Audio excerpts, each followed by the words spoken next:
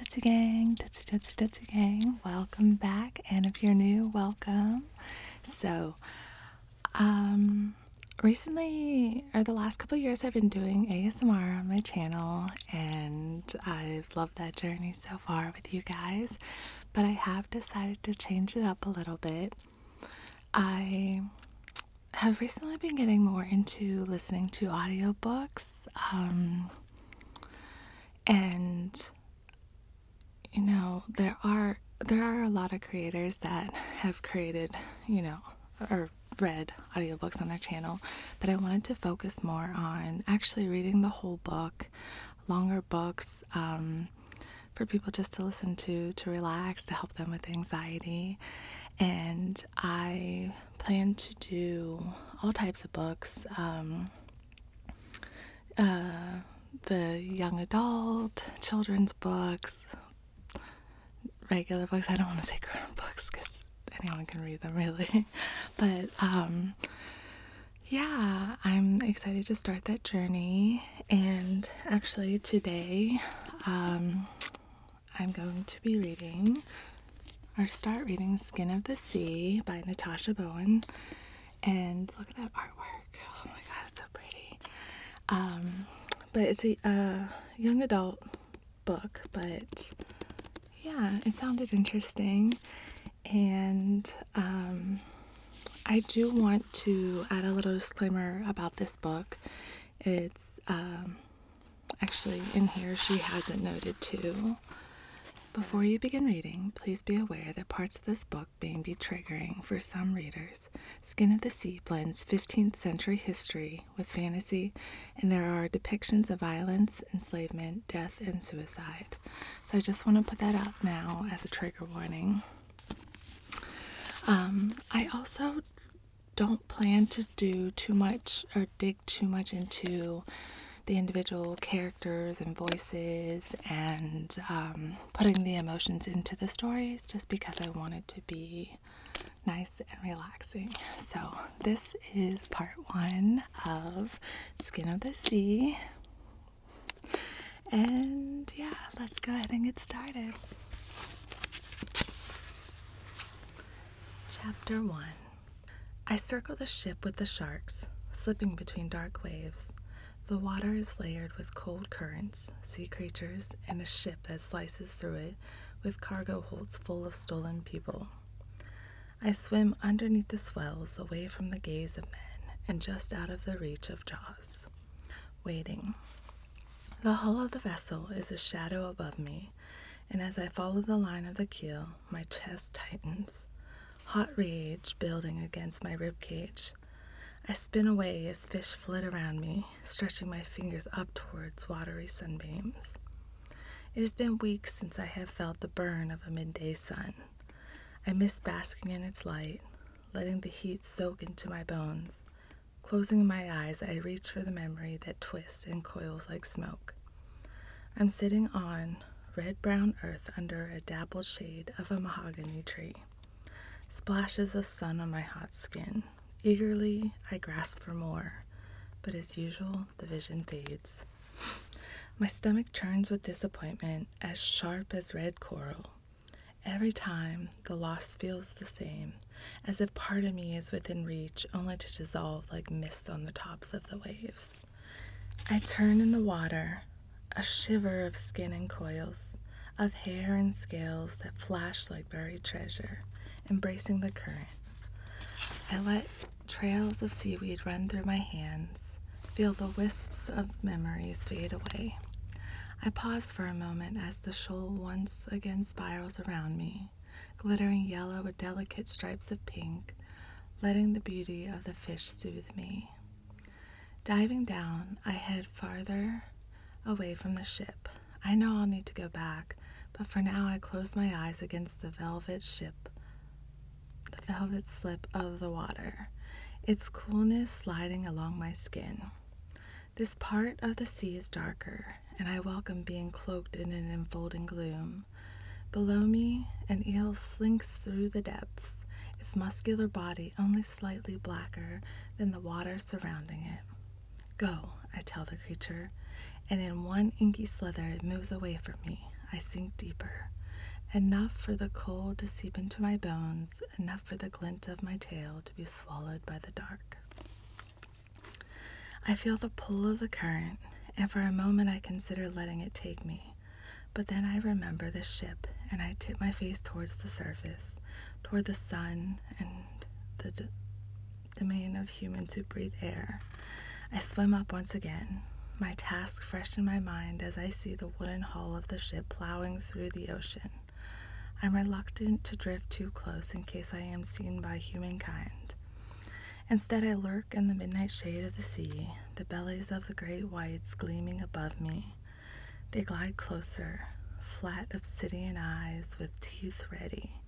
I shudder, turning away from their large bodies as they track the ship, even though I am doing the same as they are. We both seek those that enter our domain.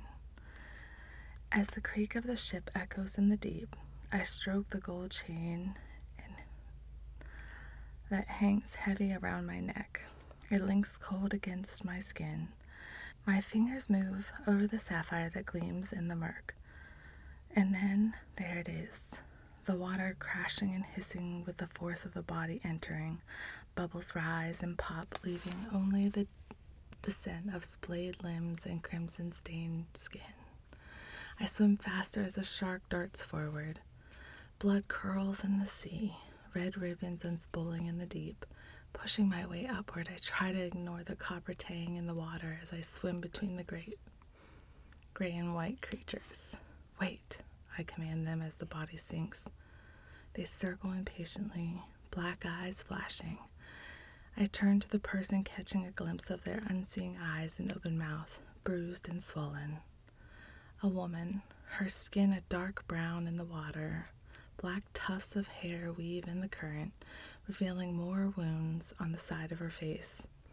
She spins slowly, and something in the line of her body speaks to me.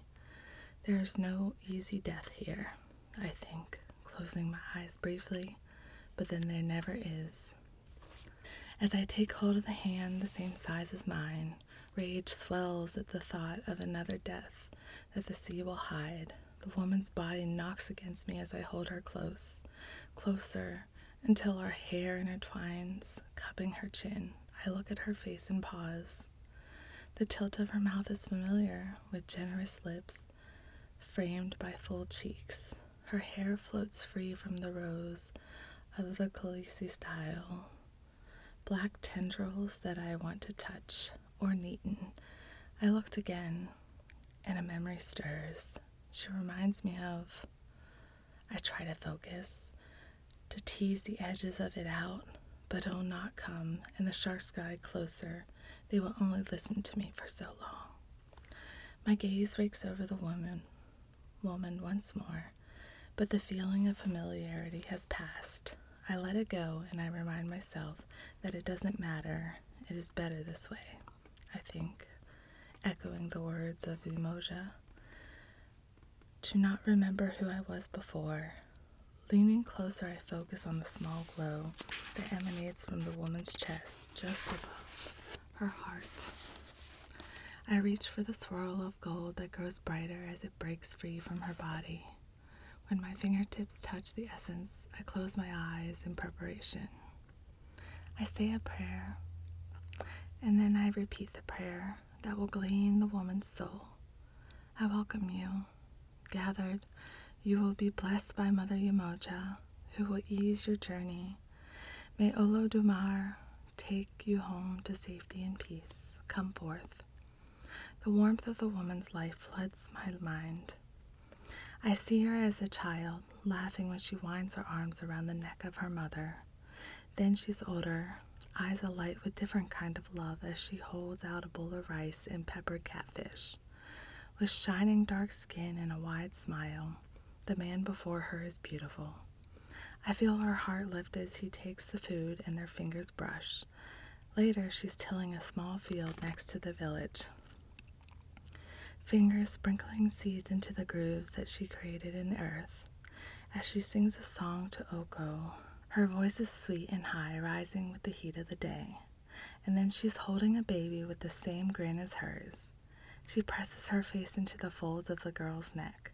inhaling the child's milky scent. I smile, feeling all the jubilation she has felt and the love that fills her soul.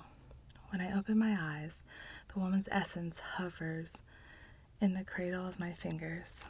I focus on the joy in her memories as I coax forth her soul, guiding it toward the sapphire of my necklace. The stone absorbs her essence, growing warm against the hollow of my throat.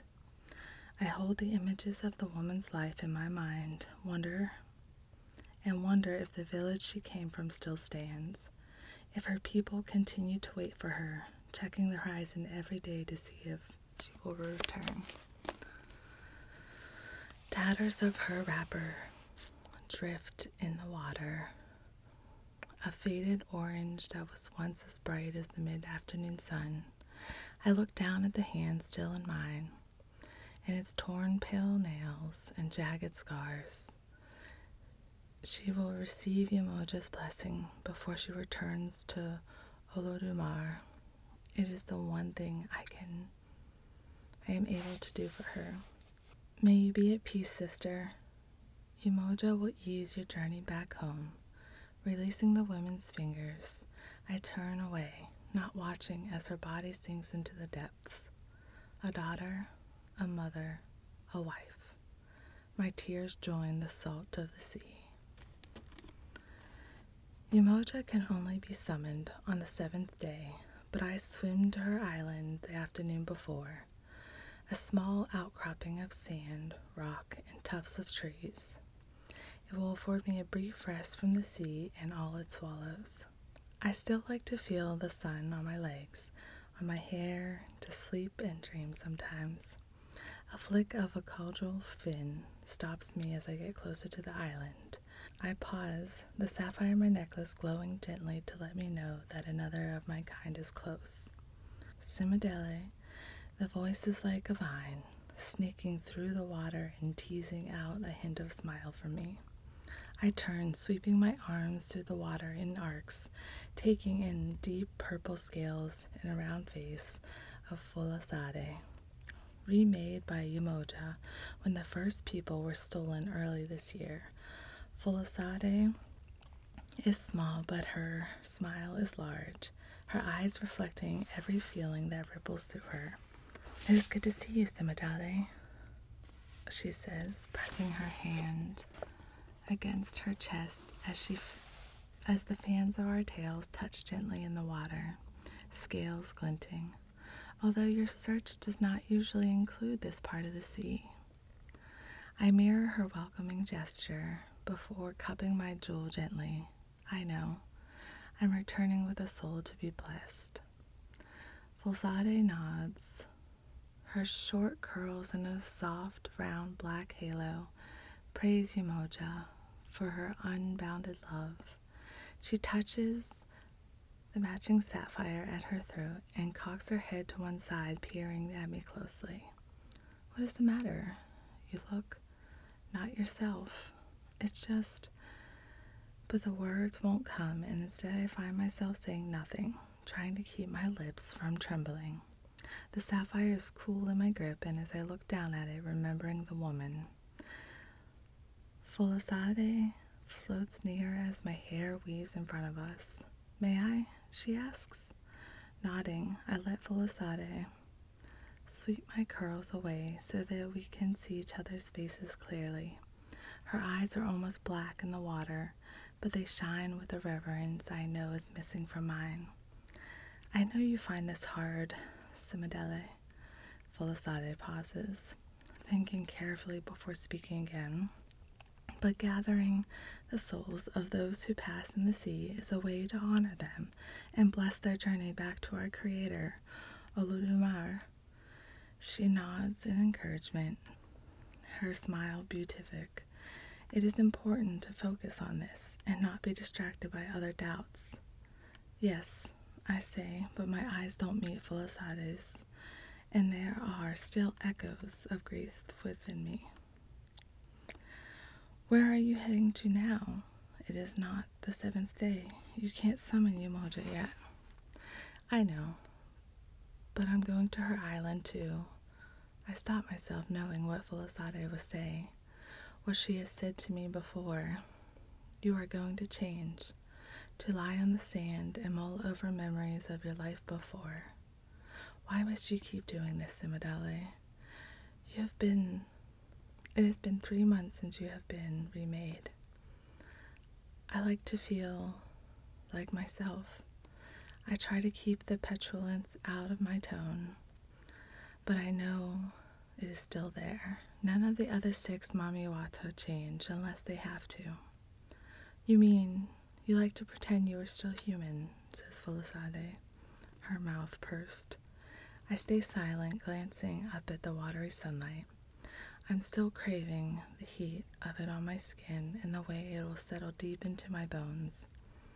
But you are not a girl anymore. Folasade grips my shoulder, forcing my gaze to hers. You are more than that. We are more than that.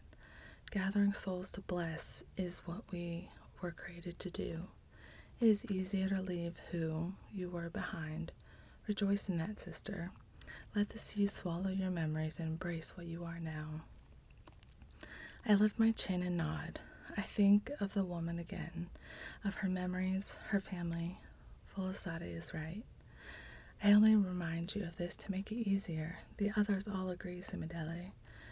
She holds me closer before releasing me, floating backward, melting into the darkness. Let your past go. Folasade's faith in Yemoja, in our task, should inspire me. I should let myself sink down, let the depths soothe me until it is time to summon Yemoja. But I don't. I can't. I wait until I can no longer see the purple of her scales or the black of her hair, and then I look up at the sun that pierces the surface. With a push from my tail, I propel myself toward the light. My head splits the gentle waves of the sea, revealing the island. I swim to the beach, pull myself carefully across the shallows, and lie on the sand, letting the sun dry me. Two legs split from the curve of my tail, and the gold and dusty pink scales elongate, growing into a wrapper that tucks around my body. Small feet complete my human form, a dark brown that matches the rest of my skin. I blink against the bright clean of the day, thinking about the woman I found in the water. There was something about her that makes me think of wrappers spun with gold and a taste of yams, of rich voices echoing in the night. I spread my hair over the white of the beach and close my eyes, with the sun burning my skin and my hands grasping fistfuls of sand. I let myself dream in a way I never see I never can in the sea. I run my fingers over the uneven walls of my home, warm from the heat of the day. The floor is freshly swept, and as I walk outside, the red sun sets the rest of the city on fire. I can see no one, but I can hear the voices that drift on the cooler breeze of the evening, and I know where everyone will be. I weave through the neat streets, feeling the contentment that comes with safety. The city is cocooned by forests, set out in the concentric spirals that begin with the Alaafin's palace and end with the great wall that encircles it all. When I reach the outer compound, I am greeted with the sight of the people, most seated around the smaller fires or gathered in groups talking and laughing before the storyteller begins the tales of the day. My age mates gather around the mahogany tree in the main meeting space. The girls with the hair in Ipako Elede style, flicking the ends of their braids off their shiny foreheads while boys crouch around games of ayo ayo all dazzle in wrappers of yellow, indigo, and red. Elders sit closer to the fire, most of them clutching dried papaya and fried plantain. Late night snacks offered by Elephant's Market that fill the air with spice. It is only as I venture further into the crowd, closer to the 17th gate, that I see my mother. She's standing against a tree, backlit by the fire. Her wrapper is midnight blue with stars picked out in silver and gold, repeating patterns that sparkle in the last rays of the day. As the principal storyteller, she will tell a story about Olodumare tonight.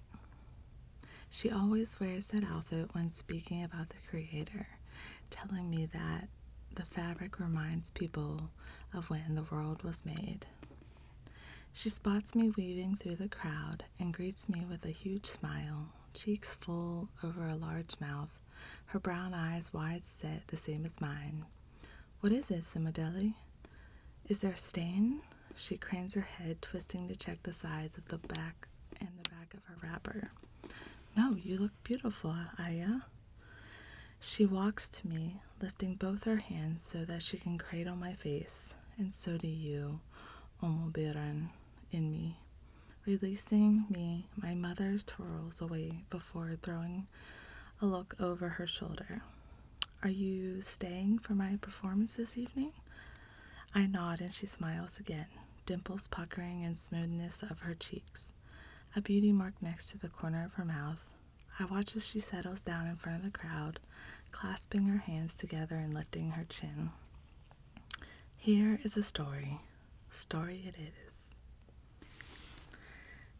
There are curls across the sky and salt in my mouth when I wake up on the seventh day. My mother, the woman whose soul I gathered, looked just like her. Hair slides from my face, and as I blink into a hazy pink dawn, my mother's features stamped upon my mind. On land, the memory does not snake away from me, and I hold it close, remembering the split of her smile and the dimples that would crinkle on either cheek when she laughed. My mother. In front of me stretches the sea, thick with waves. I sit up smiling into the bones of my knees, happy at remembering her, if only for a while. I wipe the sheen of sweat from my face and look out into the open water where the sky is hanging low, clouds scraping the tips of the waves. I could stand if I wanted to, but I don't. Instead, I close my eyes, hold out my hand, and trace the curve of my mother's imagined cheek, the quirk of her lips. The giddiness of remembering almost makes me forget what I am here for. But the sea reminds me, and the surge of the crash of the giant swells bring me back. I take a deep breath, tuck the memory away, and hope that it stays. Hope that when I am back in the water, I can still recall her face. Hope that the sea will not erase this, even though it always does. Chapter 2 I stand with the sun on my back and the waves behind me as I face the tree line. The sapphire around my necklace sparkles as I focus my thoughts on the soul inside. And then I am moving once again, doing what is needed in order to bless the woman's essence. Banana leaves hang down over the tan trunks. Their green, a vivid lime against the white sand. Ignoring them, I bend down toward the low bushes with their spiky leaves and blooms of white and blue. Yemoja's colors. Each flower has a splash of gold at its center and a sweet honey scent that grows stronger as I touch my fingertip to the waxy petal, stroking the softness. Carefully, I select seven of the flowers, snapping off their thick stems and holding them closely so that they are not crushed.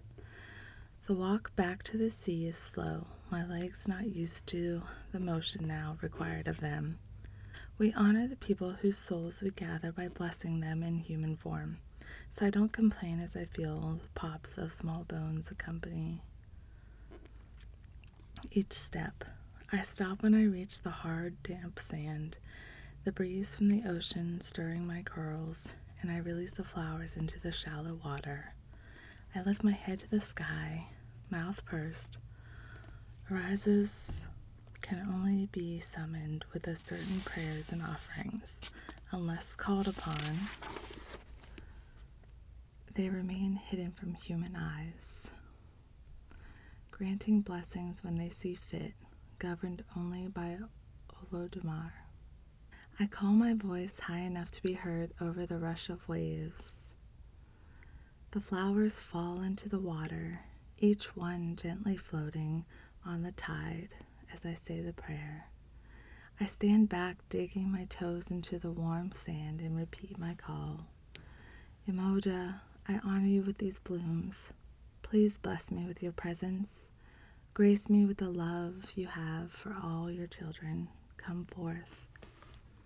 Five more times I say this, seven in total, until the sea swells and then recedes, drawing back from the land as if scalded. Shells and seaweed and red crabs dot the bare sand as I run my gaze over unveiled black rocks. My heart races just a little bit faster as it does every time I get ready to face Yemoja. I slow it down by taking deep breaths of humid air, savoring the feelings one I won't have when I return to the sea. The exposed sand is marked with complicated swirls fashioned by the tides and now seen by the sun.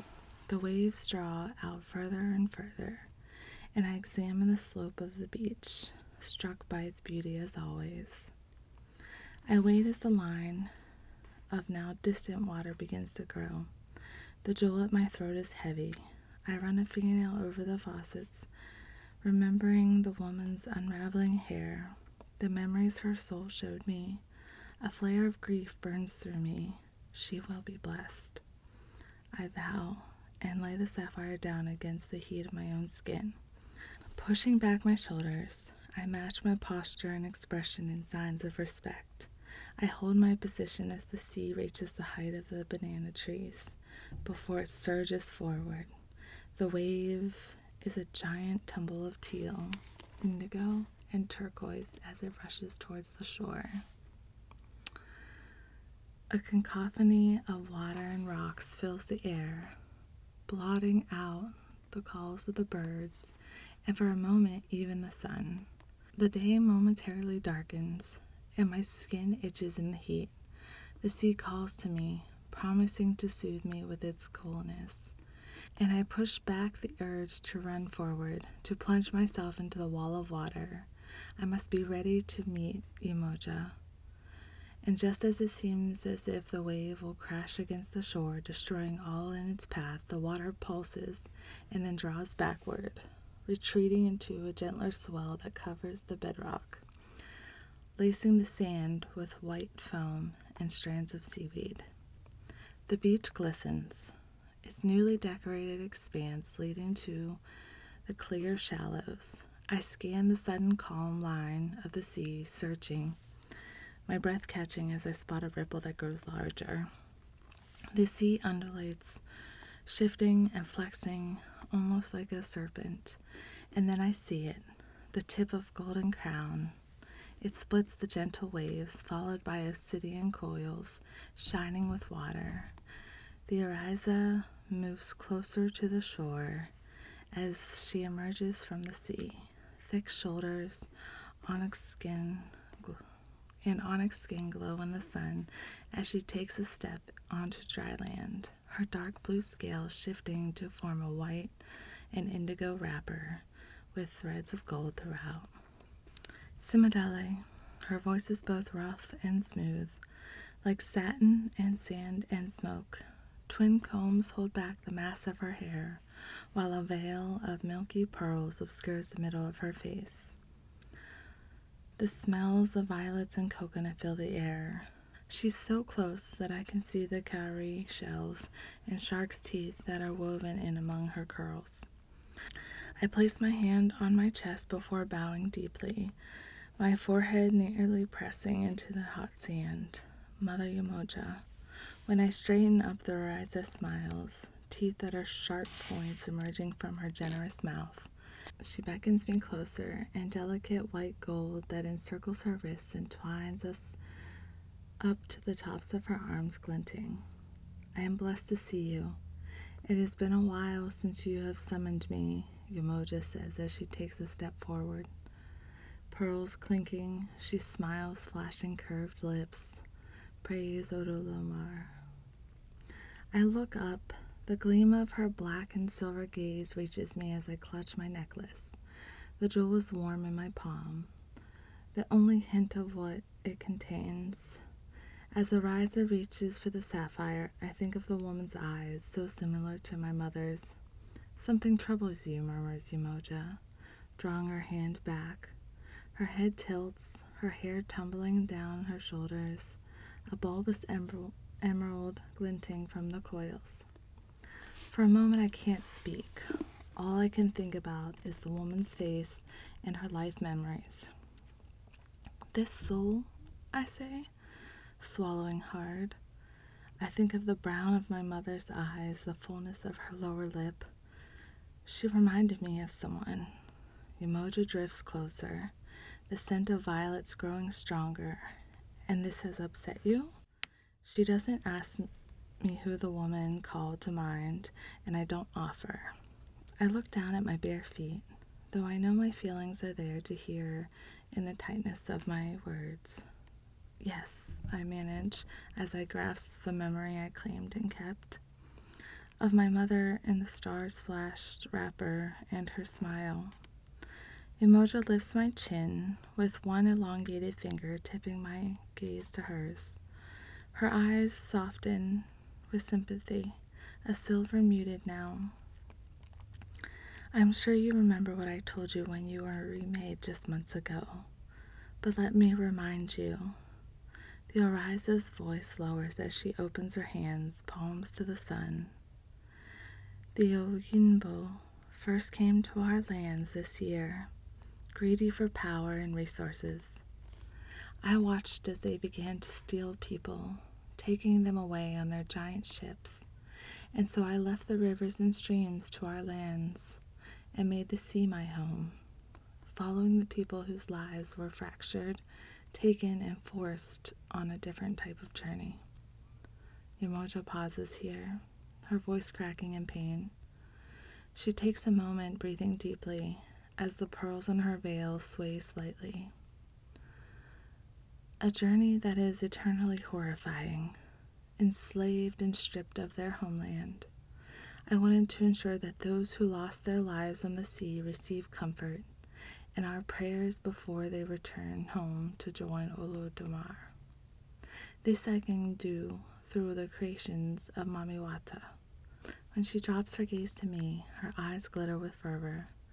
It is not everything, but it is something. It is our honor. Questions grow inside my head at her words. Why do we not smash the ships to pieces? Why do we not drag down those who sail them and to the black parts of the sea. Yemoja has always been plain speaking, leaving little room for discussion, but now I open my mouth, my mouth to speak. The sharpness of Orisa's glare stops me. Tell me, Simidele, do you trust me and trust in the task I have given you? Yemoja stares down at me, her dark curls swaying in the breeze. I nod. My faith in the Orisa knows no bounds, but it is also always easier to surrender to her guidance in the sea when my memories ebb away, pulled by the tides. She runs a hand down my arm, lightly scraping the skin with her long nails. Do you understand all that I ask of you? Her fingers digging into the soft skin under my chin again. But I don't wince or pull away, staring back at the Orisa. Her pupils are large, slashes in her metallic eyes. Yes, I say. I realize my hands are in fists and force myself to unclench them. This is good, says Yemoja. She pulls me to her and presses her lips against my forehead, holding me in place with warm hands. All that you need to do, all that you must do, is to gather any souls of those who pass in the sea and we will say a prayer to bless them on their journey back to Olodumare. This is your purpose, nothing more, nothing less. The Orisa, the Orisa pulls away and looks down at me. I need to know that you understand this, Simidele. It is important. Nothing more, nothing less, I repeat, nodding my head and dipping my gaze in respect. Good, Yemoja says, her silver and black eyes still on me. Now, let the water set your memories afloat. Let it set you free from the pain of the past and what once was. Focus on your task. The pearls of the veil clink together as she squeezes me tighter, so tight that my chest is crushed for a moment. I can't breathe. Blackness blooms at the edge of my vision and silver stars. The same shade as Yemoja's eyes sprinkle across the creeping dark. I know she is right. Of course, using the last of my voice, I muster a scraped whisper to bless their souls and is, is an honor. The pressure disappears as the Orisa releases me. My lungs fill once again. I look up at the curve of Yemoja's mouth as she smiles down at me, the sharp points of her teeth. True words indeed, Simidele. Come now, let's say a prayer to release this soul together. Yemoja stands before me, the white and indigo folds of her wrapper luminous in the sun. She holds out a large palm, her large palms and beckoning me closer. I take a step forward and then another until the Orisa towers over me. She hooks a nail under the chain of my necklace so that the sapphire is held between us. It spins lazily in the sun, sparkles scattering on my skin. The Orisa presses her fingers to the gem, and I do the same. Together we cradle the jewel, its blue brighter than the sky above us. At the thought of the soul being released, I feel a calm spread through me. Better this, I think. Better an easing of her journey. Yemoja smiles and I join her. Are you ready? she asks. Yes, Mother Yemoja. Then let us begin. The Orisa angles her face to the heavens, and her rich voice strong. We welcome you, sister. Peace is yours now. I repeat, thinking of the woman's faded orange wrapper. Olodumare is calling, and with this prayer, we ease your journey back home to your Maker, your beginning and your end. I think of her kissing her child we bless you, sister, I murmur over and over again until the sapphire releases the soul inside. A gleam of light, gold, a shimmer of essence that hovers in the air above us. May Olodumare bless you, we finish as the soul spirals away from us, and a sense of calm envelopes the island. With our words, the woman is sent on her way home. Olodumare, the supreme creator. The jewel feels cooler at my throat as Yemoja turns to me. Her smile is sharp beneath her veil, but her voice is soft. She strokes the sapphire of my necklace once and then bends down to embrace me. May, o- May Olodumare bless your search, Simidele. Before I can answer, the Orisa steps into the sea in a flash of gold and pearls and brown arms that slice the surface. All that is left is the scent of violets and coconut, a sweetness that permeates the air as my gaze roams over the water. The trails of Yemoja's curls spread out across the waves. The last thing I see is the sinks as she sinks back into the depths. I stand on the warm sand and the sun slides across the sky, crowning my hair with light. Breathing out, I thank Olodumare. Blessing the woman's soul has gone some way to calm me. But as I contemplate the sea before me, I linger once more over the memory of the woman invoked. Stars in the midnight blue wrapper, the eyes alight with love, full cheeks, and a voice that spins words like silk. My mother. I step forward to the sea, holding her face in my mind as the water washes over my feet and the scales begin to form.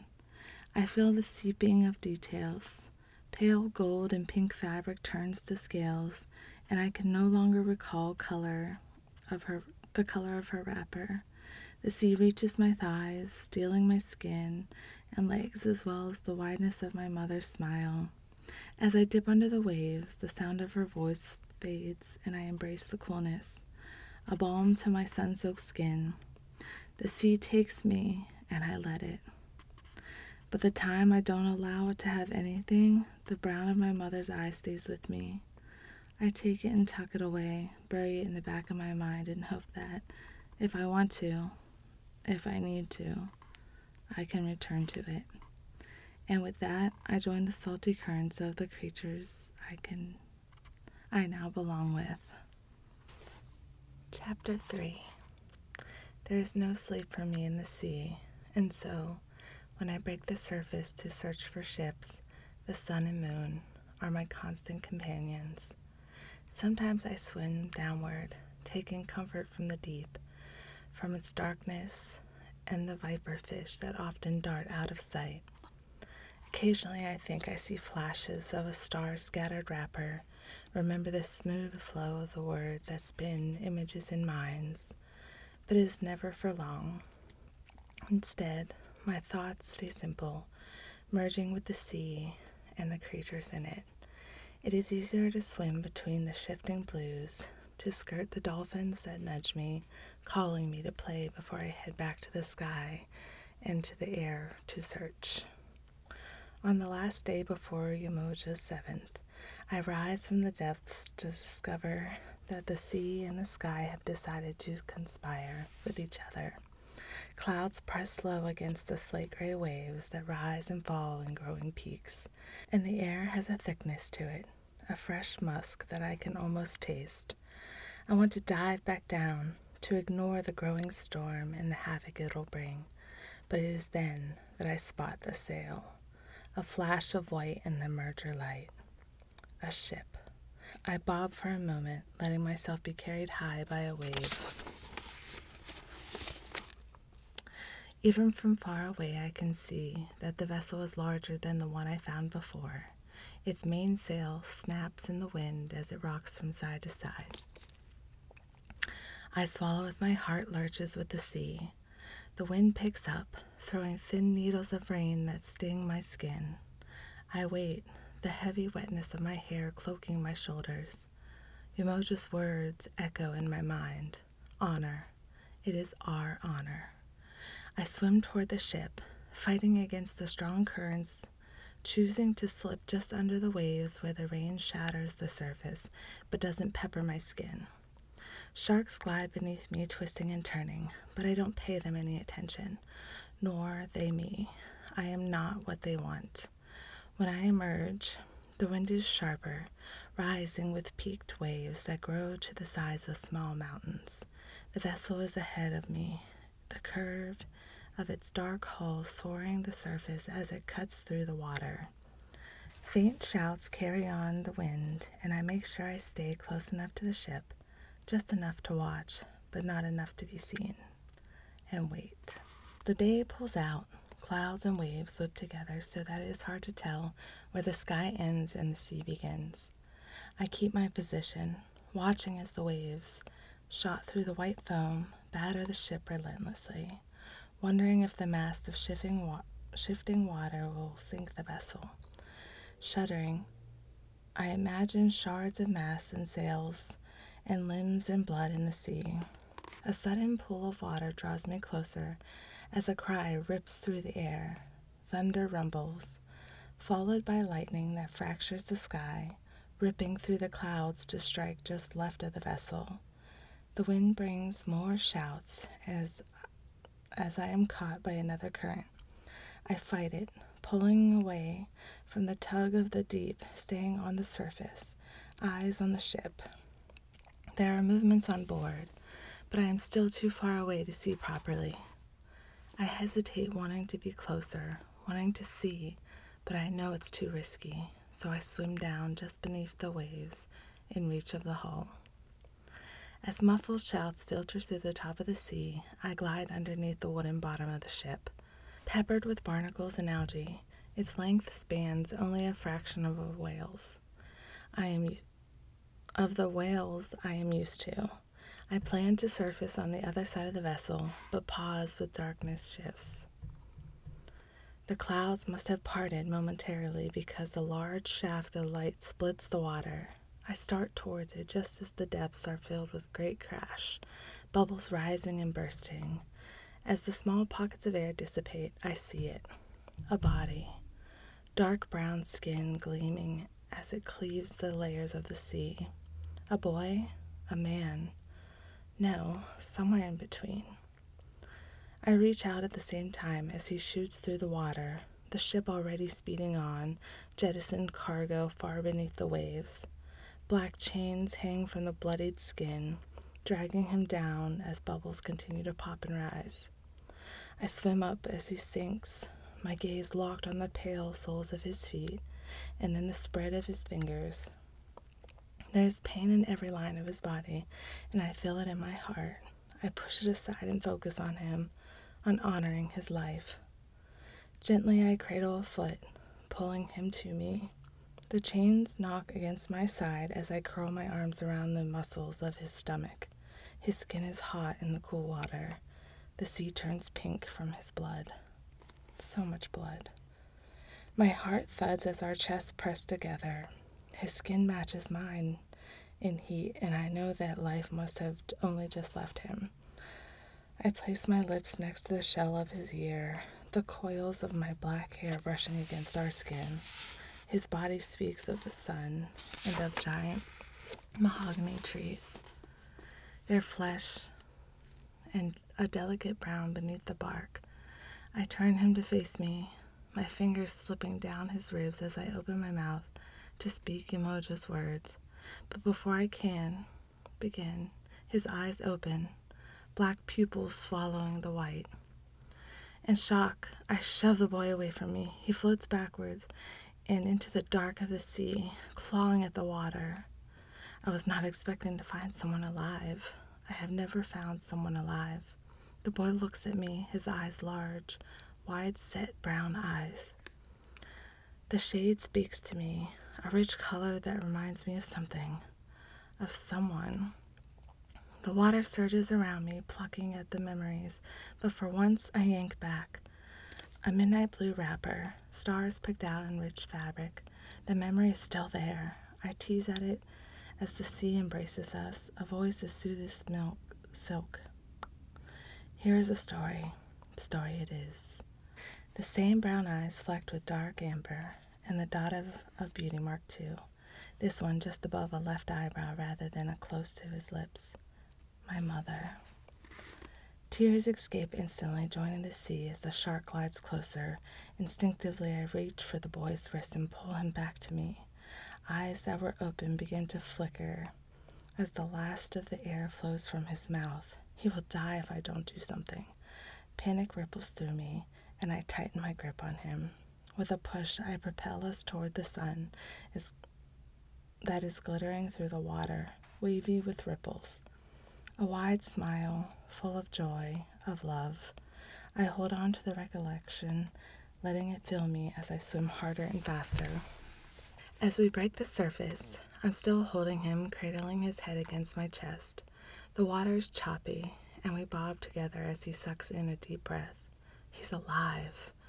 The air is still thick with the weight of the sting of thunder, but the clouds are scudding toward the thin red line of the horizon. The boy's skin is chilled now, his chest hitching intermittently. I look down at the tight curls on his head as his hands hold my waist loosely. He's alive. It's all I can think of as I lift my face to the sky. Praise Yemoja.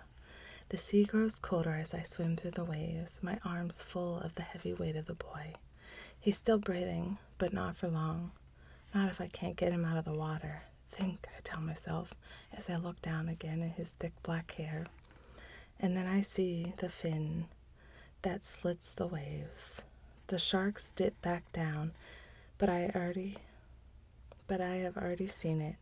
And now that I study the rain slash water, I can see more. At least three. No, I tell them, go. One peels away and the other two remain. I swim faster and pull the boy closer. His blood seeps into my desperate hands as a dark shape cuts through the ocean toward us. I clutch the boy's worn body to my chest, trying to look under the waves. The sharks are not listening.